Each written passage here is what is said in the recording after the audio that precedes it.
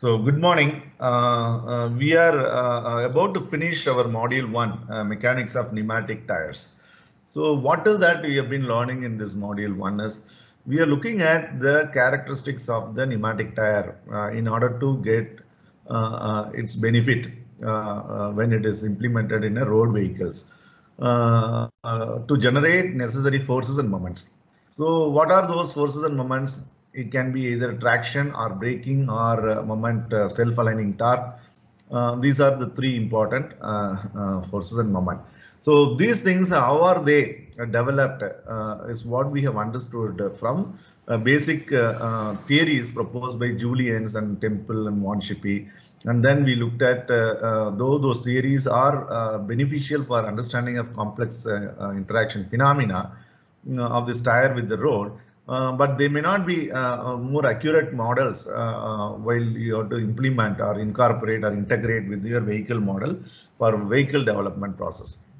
In such cases, the popular models are empirical models. one such popular model is proposed by Hans Pacejka uh, in the early model, uh, the base model of uh, steady state cornering is what we have looked at. Uh, and in that process, we have understood various uh, uh, coefficients um, that are appearing on the um, basic form of magic formula model. That's what in the last class we have essentially seen and concluded our lecture.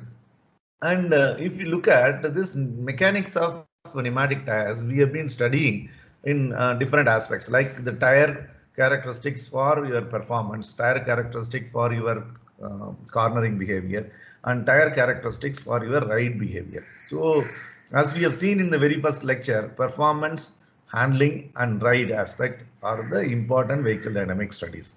Or the vehicle dynamics has been grouped under these three broad categories. So the tire has to be uh, uh, having the necessary properties to fulfill all of them.